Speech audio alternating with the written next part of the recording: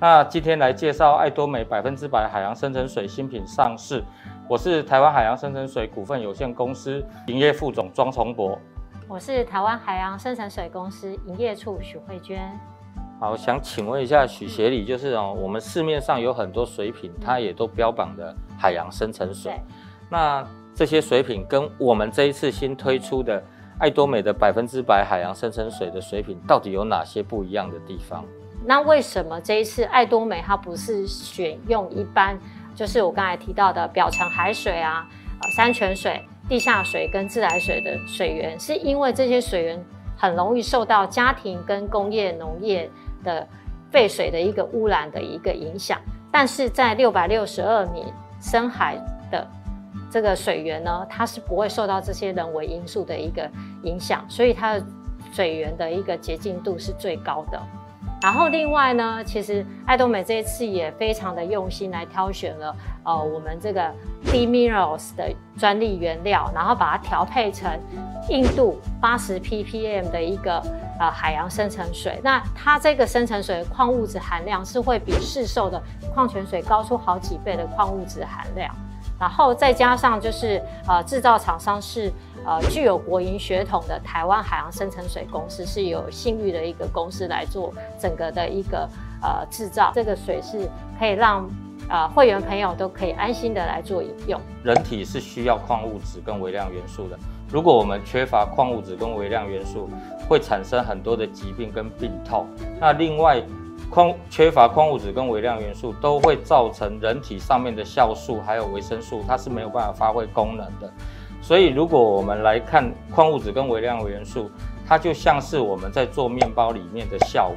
如果没有透过这个酵母，我们就没有办法让面包膨起，也没有办法让它做成好吃的这个面包。所以，矿物质跟微量元素就是可以让我们身体里面有几百种的生化反应，可以顺利进行，让人体的生理机能能够正常的运作，减少疾病跟病痛的一个发生。所以，补充矿物质的确是一个非常非常重要的一个功课。矿物质里面有分两种形态，一个是化合矿物质，另外一种就是离子态的一个矿物质。那我想要请教一下许协理，就是。是这两种矿物质，它对于人体上面的吸收是不是有所的差别，或者是吸收率上面哪一个是更好的？是不是可以来跟我们说明一下？海洋深层水呢，它本身是属于离子态的一个矿物质。那根据国内的呃知名大学的研究显示呢，海洋深层水中最重要的镁呢，它的吸收率可以高达百分之六十三趴。然后另外呢，像一般的定剂啊，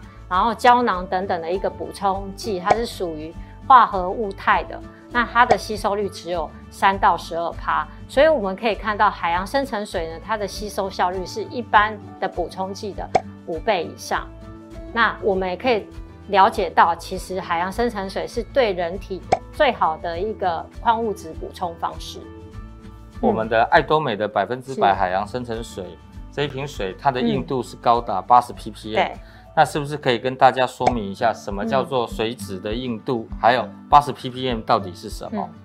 水的硬度呢，主要是取决于呃矿物质的含量。那尤其是钙跟镁的含量越高呢，它的水质就越硬，喝起来就越不好喝。那如果它的含量越低的时候，它喝起来反而是更柔顺的。那爱多美这一瓶百分之百海洋深层水，它挑选的是八十 ppm 硬度的一个水，那它是指一升里面就拥有八十毫克的钙跟镁。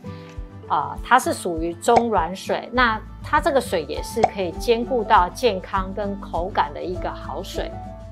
其实我常常就是我都会运用海洋深层水来煮饭，用它煮饭的时候，你会发现你的那个米粒的光表面的一个光泽度跟 Q 度都是可以被提升的。然后另外呢，尤其煮汤的时候，呃，对于呃海鲜汤来讲呢，它里面的矿物质呢可以提升它整个的鲜度，所以不管煮饭煮汤，它都是一个非常好的选择。那另外呢，其实我们在喝茶的时候或喝咖啡的时候，我们也很建议用海洋深层水来做一个泡制的一个动作。像咖啡，它其实有一点会把它的那个整个风味都提升。爱多美的百分之百海洋深层水，它不仅是拿来可以直接饮用之外，它也可以多层次的去运用在生活上的各个层面。那我们这一次的总结就是：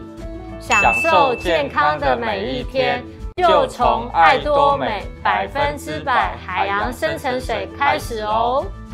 那谢谢各位今天的聆听，谢谢大家。